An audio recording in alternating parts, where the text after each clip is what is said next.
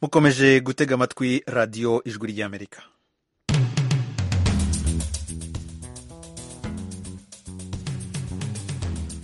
radiyo ijwi ry'amerika ivugira i washington dc mu kirundi no mu kinyarwanda. Mu rwanda mutwumvira kuri fm ijana na kane n'ibice bitatu. Y'ijwi ry'amerika mu burundi turi ku mirongo migufi ya shortwave kuri metero cumi n'icyenda na metero makumyabiri n'ebyiri.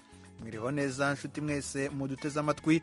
Ni edi rwema ubasuhuza kandi mbaha ikaze mu makuru yacu kuri uyu mugoroba. Perezida w'u Burundi evariste ndayishimiye agiye guhana yihanukiriye abapolisi barya ruswa. Tugiye rero natwe kuvira hasi abafashe izo ngendo mbi zidutesha agaciro agateka k'igihugu kakagenda. Uyu ni perezida evariste ndayishimiye. Ibi akaba yivugiye mu ishuri kaminuza rya polisi y'u Burundi mu ntara ya bubanza. Inama y'abakuru b'ibihugu bya commonwealth igikomangoma charles w'ubwongereza yaganiriye n'abatuye umudugudu w'ubwiyunge. Uburayi bwatangiye kwiga dosiye ya Ukraine isaba kwinjira mu muryango wabwo. Amakuru arambuye ni mu kanya gato. Mugome hafi.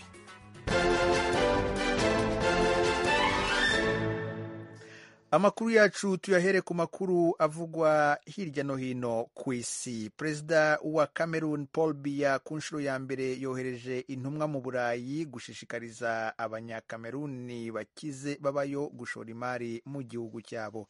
Ni inkuru twateguriwe na eugenia mukankusi. Abategetsi muri guverinoma ya kameruni bayobowe na minisitiri ushinzwe ibibazo by'urubyiruko n'inyigisho zo gukunda igihugu mununa futsu boherejwe mu gihugu cy'ubudage futsu yavuze ko yifuza ko abanyakameruni bose baba hanze bashyira ku ruhande ibibatandukanya kandi bagafasha guteza imbere igihugu cyabo.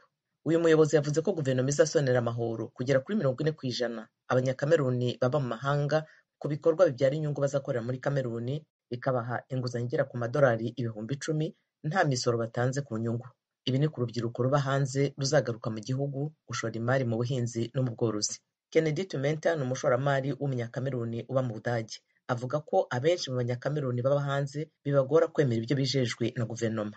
Uyu munyemari avuga ko ruswa imisoro iri hejuru no kutagirira icyizere perezida biya umaze imyaka mirongo ine ku butegetsi bitera ubwoba abashoramari. Abanyakameruni baba hanze babarirwa muri miliyoni eshanu.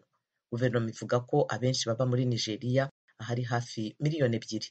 Hari n'abandi baba ahanini mu bubirigi mu bufaransa mu budage mu bwongereza no muri leta zunze ubumwe za amerika.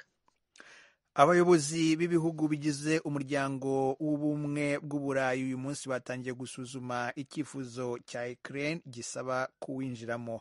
Ni inkuru tubaza mugenzi wacu Diane Ninazwa umukuru w'akanama gatwara ubumwe bwa buraya charles michel yavuze ko afise icizere c'uko abategetsi b'ibihugu bigize uwo muryango baza kwemera badahiga imanga ko ukraine itangura intambwe ziganisha kuwinjiramwo inama y'abategetsi b'ubumwe bwa buraya yo kwiga ku busabe bwa ukraine yatanguye uno munsi ku wa kane ikaba izohera ejo ku wa gatanu. Mu ndwi iheze ni ho komisiyo y'ubumwe bwa buraya yasaba uwo muryango kwemera icifuzo ca ukraine na moldova agahugu gato gahana imbibe na ukraine. Ukwakira no kwemera ubusabe bw'igihugu kanaka bwo kwinjira mu muryango umwe bwa buraya niyo ntambwe ya mbere igihugu cose kibwirizwa gutera imbere yo kuwinjiramwo. Uwo muryango ubundi urimwo ibihugu mirongo ibiri n'indwi. Intambwe zigiye gukurikira niyo ubusabe bwa ukraine bwemerwa zirimwo ko ico gihugu kizoheza kigatangura kwerekana ko gikwije ibisabwa vyose vyo kuba umunyamuryango ivyo navyo bikaba birimwo ubutunzi butajegajega na demokarasi ikwije ivyangombwa abahinga mu vya politike n'imigenderanire aha bakavuga ko kugira ukraine yemererwe burundu kwinjira mu bumwe bwa buraya bishobora kuzotwara imyaka igera kuri cumi. Perezida wa ukraine volodimir zelenski nawe mu ijambo ryiwe ry'ejo kuwa gatatu yavuze ko yizera cane ko ibihugu vyose mirongo ibiri n'indwi bizomushigikira muri ivyo bihugu yemeje ko amaze kuvugana na cumi na kimwe yongera ko kuri uno wa kane ategekanya guhamagara abandi bategetsi ba au bataravugana kuri telefoni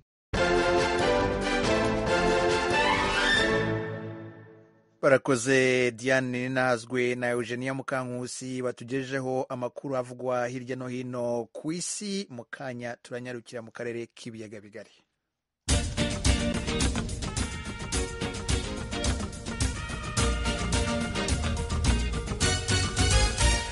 Amakuru yo mu karere k'ibiyaga bigari mu rwanda abakuru b'ibihugu na za leta b'ibihugu bihuriye mu muryango wa commonwealth bakomeje gusesekara i kigali. Inama nyirizina y'abo bayobozi izatangira ku munsi w'ejo. Kuri telefoni ndi kumwe n'umunyamakuru w'ijwi ry'amerika asumta kaboyi ukurikiranira hafi iby'iyo nama. Asumta kaboyi wiriwe neza kigali yifashe ite mu gihe mutegereje abayobozi batandukanye. Wiriwe neza edi icyo nakubwira nk'uko wari ubimbajije kigali navuga ngo abaturage bose n'abayobozi bakereye kwakira abayobozi barimo kuza buri kanya cyane cyane kuri uyu wa kane nibo kuva mu gitondo kugeza muri aya masaha ujya kubona ukabona umuyobozi arahise ubibwirwa n'uko akurikiwe n'imodoka nyinshi na polisi igenda ikura izindi modoka mu nzira mbega ni urujya n'uruza. Asumta kaboyi muri iyi nama amakuru atugeraho ni uko u rwanda rwari rutegereje abaperezida n'abayobozi ba za guverinoma bagera hafi kuri mirongo itatu na batanu. Hari abo umaze kumenya bamaze kugera muri icyo gihugu nk'ab'ingenzi umuntu yavuga ni nk'abandi. Reka nkubwire wenda mpereye mu baturanyi mu kinyarwanda baravuga ngo ujya kurishira ku rugo. Mu gitondo cyo kuri uyu wa kane haje perezida wa uganda yoweri kaguta museveni yaje n'indege imugeza gatuna afata imodoka aza i kigali. Nakubwira ko yanakiriwe cyane n'abaturage basangaga bahagaze ku muhanda. Sinamenya impamvu bamenye ko aje. Ariko nko mu mujyi wa kigali nyabugogo abaturage bavuye mu mazu yabo aho bakorera abatwara za moto umutwari benshi cyane mu mujyi wa kigali barahagarara basikiza umuhanda baramwakira. Nawe babonye ko yabonye ko bamwishimiye cyane akaba yanabigaragaje ashimira abaturage bo mu mujyi wa kigali ukuntu yakiriye. Reka nkubwire tukiri mu baturanyi navuga ko mu tanzania yohereje visi perezida wayo ni we wahagarariye iki gihugu navuga ko abandi baturanyi baje kugeza aka kanya ni perezida wa afurika y'epfo ntabwo yaje ntabwo yaje umuvugizi w'ibiro bye yavuze ko perezida wa afurika y'epfo afite akazi kenshi muri ibi bihe ariyo mpamvu atabashije kuza. Ariko kandi twanakiriye n'abashyitsi baturutse kure navuga minisitiri w'intebe w'ubwongereza yageze hano mu gitondo yaje ari kumwe n'umugore we navuga minisitiri w'intebe wa canada nawe yaje ari hano mu gihugu n'abandi baperezida banyuranye bo ku mugabane wa afurika nabo bari hano mu gihugu. Umuntu yavuga mu baperezida ba afurika nabo nanone bakomeye hari nka perezida muhammad buhari w'igihugu cya nigeria ari aho ngaho mu rwanda perezida wa ghana ari aho ngaho mu rwanda ndetse hari n'abandi bivugwa ko bari mu nzira barimo perezida wa malawi harimo umwami wa eswatini n'abandi. Ikindi ni uko n'igikomangoma charles w'ubwongereza ari aho ngaho mu gihugu ubu ni we uhagarariye nyina umwami elizabeth wa kabiri igikomangoma Charles yasuye bimwe mu bikorwa bitandukanye asura abacitse ku icumu abo yabonanye nabo wamenya baravuganye iki? Abo yabonanye nabo nagize amahirwe yo kuvugana nabo mu gitondo ni abaturage batuye mu murenge wa mayange mu karere ka bugesera ni abaturage baba muri mu mudugudu w'ubumwe n'ubwiyunge bakaba bamugaragarije rero baramugaragarije n'ejo ku mugoroba abacitse ku icumu bamubwira inzira y'umusaraba banyuzemo kugeza barokotse ndetse n'abishe bamutangariza uko byari bimeze. Yaratangaye cyane rero kubona umuntu wiciwe abana n'uwamwiciye bakabana bakundana baturanye bamugaragariza ukuntu babana mu mashyirahamwe biramutangaza cyane ariko nanone aravuga ati birashimishije ukuntu mwarenze ako kaga uyu munsi mukaba mubana neza. Abo baturage bo twaganiriye mu makuru yacu ataha muraza kumva ukuntu bavuga bati kuba ahantu dutuye mu murenge mu murenge wa mu karere ka bugesera mu kantu kitwa kuri byo ni agasozi gatoya kuba twasuwe n'igikomangoma byarabarenze barabyishimiye cyane. Asubita kaboyi ndabizi ko inama y'abakuru b'ibihugu izafungurwa ku mugaragaro ku munsi w'ejo. Uyu munsi hateganijwe ko umukuru w'igihugu aza kwakira abakuru b'igihugu bandi bagenzi be ku meza kugira ngo basangire ifunguro rya nimugoroba. Ariko kuba abo bayobozi benshi bari mu mujyi wa kigali ntacyo byahungabanyije ku rujya n'uruza cyangwa se ku mibereho rusange y'abaturage bari basanzwe babayeho badafite umuvundo nk'uwo w'abashyitsi benshi. Ibyo bintu ntabwo ngo byaradutangaje kuko bigitangira iyi nama igitangira hasohotse amatangazo ya polisi yerekana inzira zikwiye gucibwamo n'izidacibwamo. Hanyuma mu nyuma uko iyi minsi igenda ishira na za nzira zabaga zigaragaje ko zahariwe abashyitsi abaturage bakazinyuramo umushyitsi yabaje bagahagarara ku ruhande iminota itanu icumi byarangira abaturage bagakomeza. Rero mu mujyi wa kigali usibye wenda havuga ikintu ubona cyahacitse kitagihari ariko n'ubundi cyarwanwaga ni aba bantu bacururiza mu mihanda. N'ubundi usibye n'abashyitsi na mbere ni ikintu abategetsi batajya bihanganira kubona abantu bagenda bacururiza mu mihanda. Icyo ni cyo ubona gisa nk'ikidahari ariko ubuzima bundi za moto ziragenda amagare nahoze nyabona amagare mu mihanda nini yagendaga imodoka byose. Hanyuma mu gusoza asubuta ibyo ari byo byose ni abayobozi benshi cyane umutekano wo bite? Mu magambo make cyane. Umutekano wo umutekano wo polisi hose yewe usibye na polisi urabona ko hari n'abasirikare benshi cyane mu mihanda ku buryo wavuga ko rwose umutekano urinzwe cyane. Asumuta kaboyi umunyamakuru w'ijwi ry'amerika i kigali mu rwanda ndagushimiye cyane. Urakoze cyane edi radiyo ijwi ry'amerika ivugira i washington dc mu burundi umukuru w'igihugu evariste ndayishimiye avuga ko agiye gufatira ibyemezo abapolisi barya ruswa. Yabivugiye i bubanza mu mihango yo gutangiza inyigisho z'abanyeshuri bashya ba kaminuza y'igipolisi. Ni inkuru twateguriwe n'umunyamakuru w'ijwi ry'amerika eloge wirikaneza leta y'uburundi igiye kumara imyaka itatu itegura imiyabaga mirongo icenda kugira ivemwo intwazangabo z'igipolisi c'uburundi harimwo abiga mu munani abarungitswe n'isengero katolika kugira bazigisha ijambo ry'imana mu gipolisi batatu hamwe na babiri barungitswe n'amashengero ya protestante. Abasigaye mirongo irindwi n'indwi ni misore. Umushikiranganji ajejwe umutekano gervain dirakobuca yishimye kubona iyo misore n'inkumi bari bamaze amezi atatu bategurwa imbere y'ukwemererwa gukomeza ivyigwa bagiye kuzoramurwa burundi bumaze kwinjira mu ishirahamwe mpuzamakungu ry'amashure yigisha ibijanye n'ubumenyi mu vyerekeye igipolisi kinyamwuga yasabye umukuru w'igihugu gufasha kugira kaminuza y'igipolisi ironka uburyo n'ibikoresho bishoboza kuja ku rwego rwa za kaminuza zitanga ubumenyi bwemewe mu gipolisi haba mu karere no mu makungu.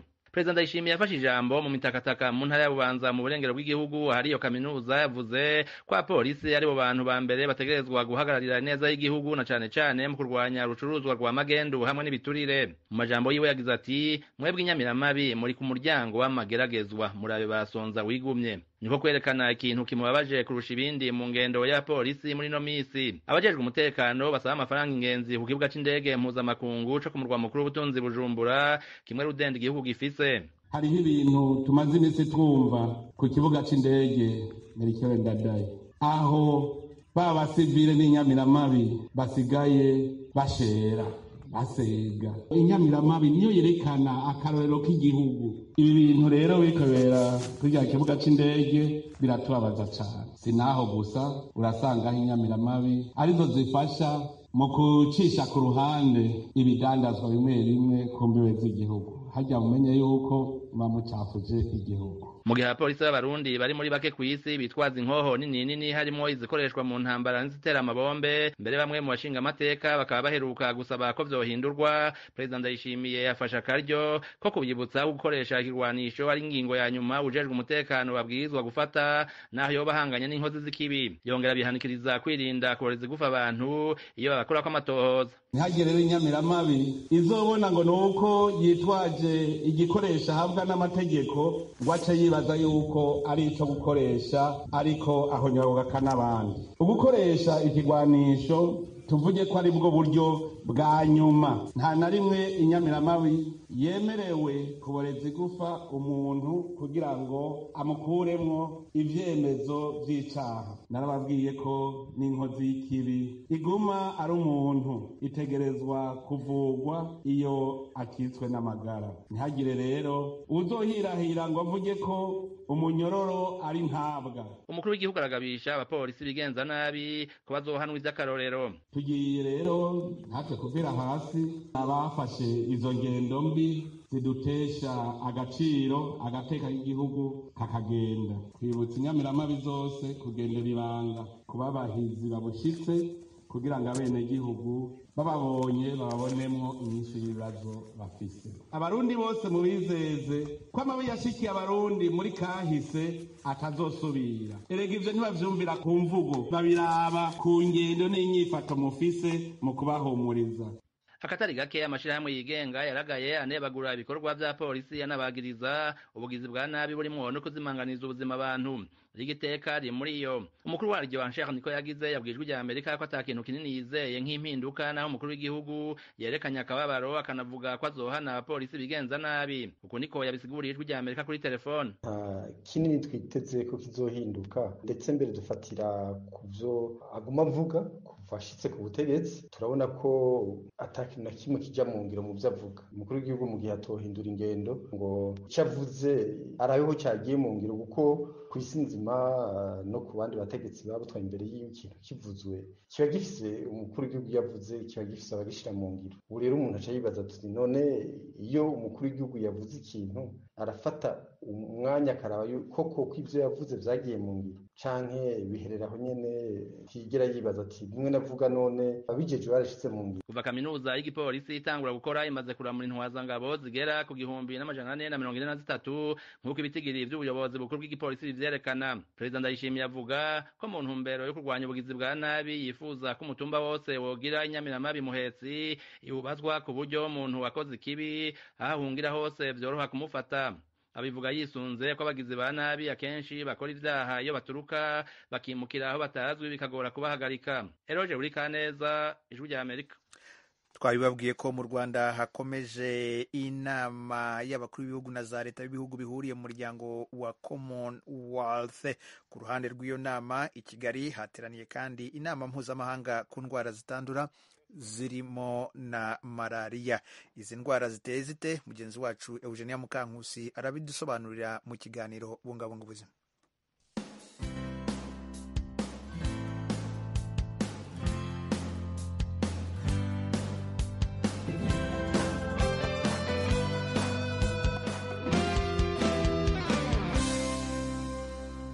Ndabaramukije mwese kandi mashimira kuba muri kumwe natwe mu kiganiro bungabunga ubuzima. Mugitegurirwa n'ijwi rya amerika mukakigezwaho nanjye eugenia mukankusi. Abantu barenga miliyari ku isi bazahajwe n'izo ndwara oms avuga ko zititaweho ariko ubu zirimo guhabwa umwanya ukwiye.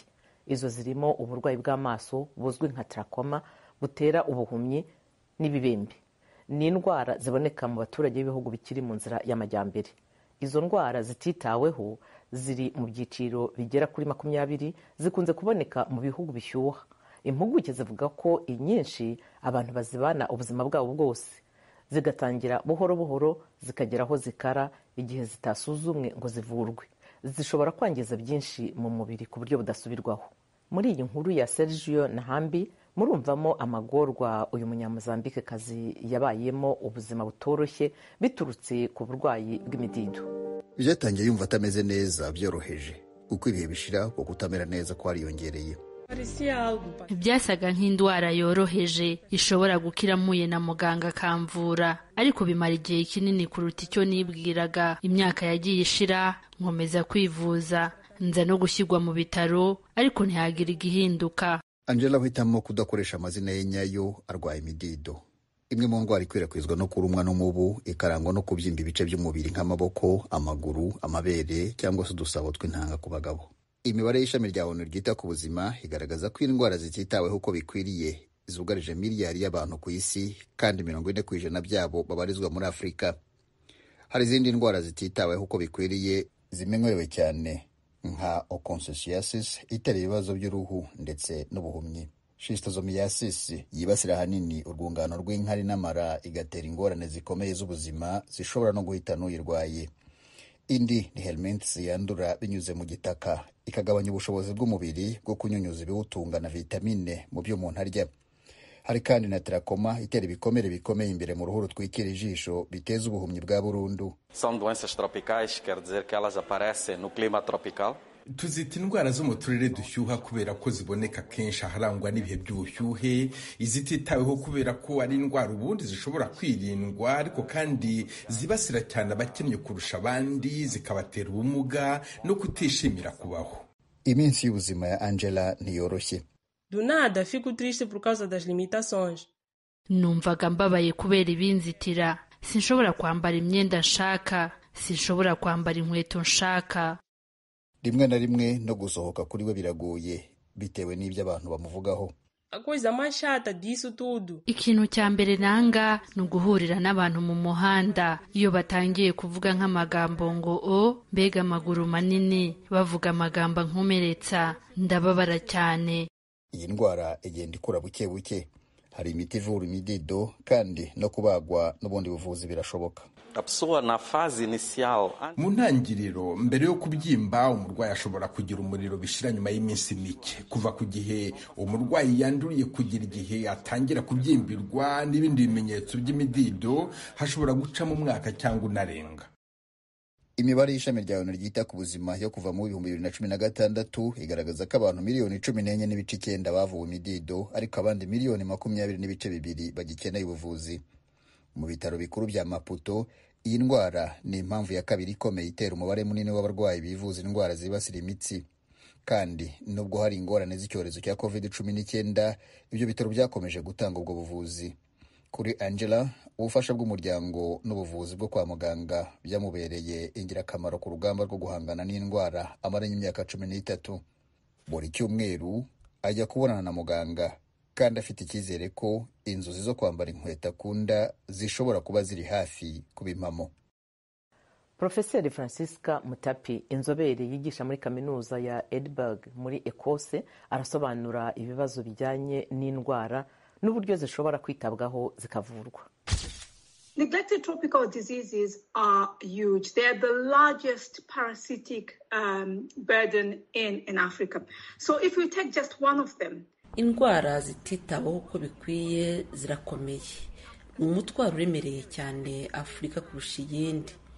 Rero niyo twafata imwe muri zo ni cyo kibazo cya kabiri cyugarije gahunda y'ubuvuzi rusange muri afurika. Nyuma ya malariya yonyine. Iyo ni birariziya kandi ikibazo gikomeye cy'izi ndwara ni uko zitagira ikimenyetso kimwe ntizibasira urugingo rumwe ahubwo zizahaza umubiri wose. Hari zimwe zitera ubuhumyi zitera ubumuga bw'ingingo. Ufashe nk'iyitwa shistozomiyazisi cyangwa se birariziya igira ingaruka ku bushobozi bw'imyigire y'abana mu ishuri. Igabanya ubushobozi bwabo mu gufata ibyo biga ikanagabanya ingufu zabo z'umubiri. Inagabanya uburumbuke ku bagore. Hari ubwoko bwayo bwibasira urwungano rw'inkari n'imyanya myibarukiro ku buryo bigira ingaruka ku buzima bw'imyororokere n'uburumbuke. Igira kandi indiririzi parazite nyinshi zitera ubwandu bwibasira ubuzima bw'abagore batwite ku buryo umubyeyi n'umwana atwite bombi bubageraho aho umwana avukiye nyuma ubuzima bwe bugahura n'ingorane. Ni mu gihe aho tutaragera kuri za kanseri bene izo ndwara zitera. Nyuma y'imyaka icumi urugero abantu bagera ku bihumbi magana atandatu ntibagikeneye ubuvuzi. Twaranduye burundu zimwe muri izi ndwara. Mu bihugu bimwe bya afurika nk'indwara y'amaso ya tarakoma muri gambiya nishimiye cyane kuba ndi mu bagize uruhare mu guhuriza hamwe amasezerano ya kigali. Mbere na mbere ni amasezerano ya kigali ku nzego ntabwo ari amasezerano ya londres y'inzego. Ibyo hari icyo bivuze kuko bisobanuye ko ibihugu bya afurika aho izi ndwara zibasira cyane birimo gufata iya mbere mu kuzikumira. Ikigo kidakorera inyungu cyitiriwe perezida jimmy carter kiri mu mujyi wa atlanta muri amerika cyabonye umubare muto w'abantu barwaye inzoka mu mateka ya muntu mu mwaka wa bibiri na makumyabiri na rimwe ku buryo intego yo kuzirandura iri hafi kugerwaho. Inkuru ya kane farabo. Ubwo yahuraga n'itangazamakuru muri bibiri na cumi na gatanu uwahoze ari perezida wa amerika jimmy carter wari uzi ko arwaye kanseri ishobora kumuhitana yavuze ko asigaranye intego imwe yo kuzuza. Icyampa ngo inzoka ya nyuma ya teniya izapfa imbere yanjye. Nyuma y'imyaka itandatu kariteri ufite imyaka mirongo icyenda n'irindwi yakomeje guhangana na kanseri y'ubwonko n'izindi ndwara kugeza abonye ikigo cyamwitiriwe kigeze ku rwego cyandika amateka mu rugamba rwo kurimbura indwara itaritaweho ko bikwiye. Iki kigo cyatangiye gutanga umusanzu wo kuyirwanya mu gihumbi magana cyenda mirongo inani na gatandatu. Dushimishijwe n'uko mu mpera za bibiri na makumyabiri n'umwe abantu barwaye iyi ndwara babonetse ari cumi na bane gusa. Mu gihe muri bibiri na makumyabiri n'ibiri nta n'umwe uraboneka.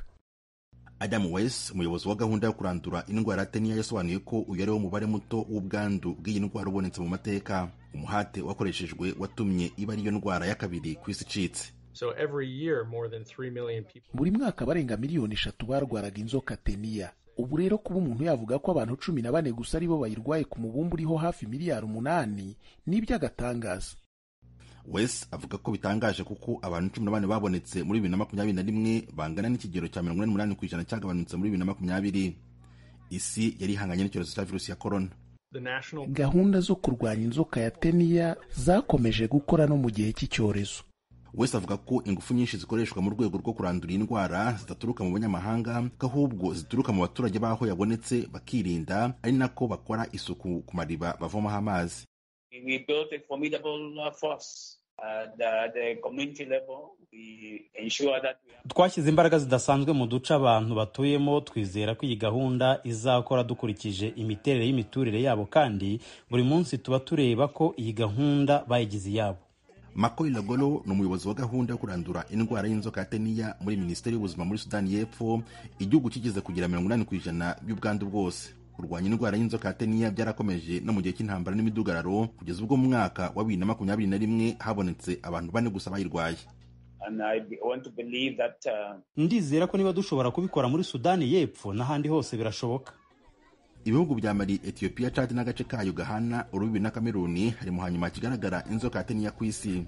Nubwo hari ibyagezweho hari byinshi bigica intege what we've seen in the last 10 years or ibyo twabonye mu myaka igera ku icumi ishize ni ubwandu mu matungo yo mu rugo.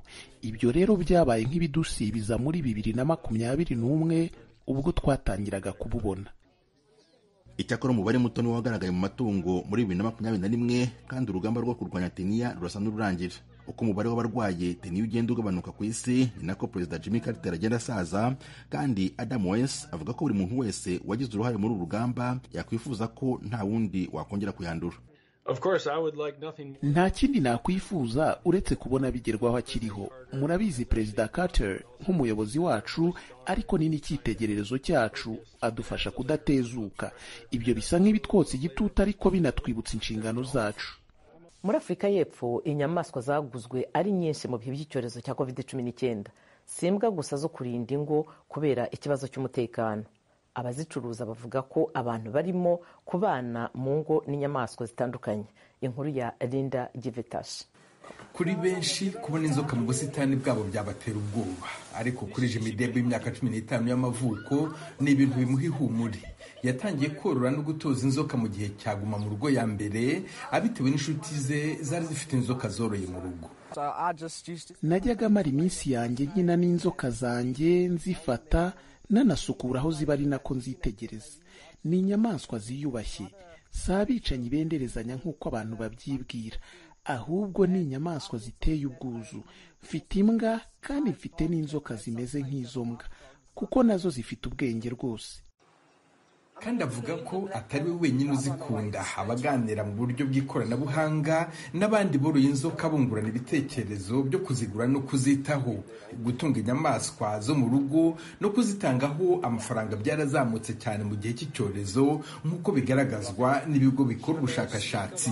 Aborora inyamaswa bavuga ko igurishwa ry'iza gakondo ryiyongereye cyane.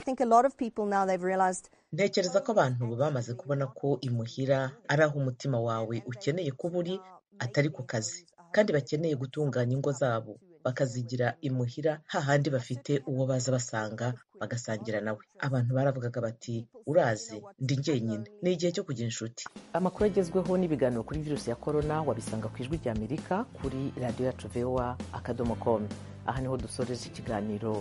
Bungabunga ubuzima. Naho ubutaha mugubwe neza mukore ku buryo umunsi wanyu uwo ari wo wose uba uw'ubuzima buzira umuze.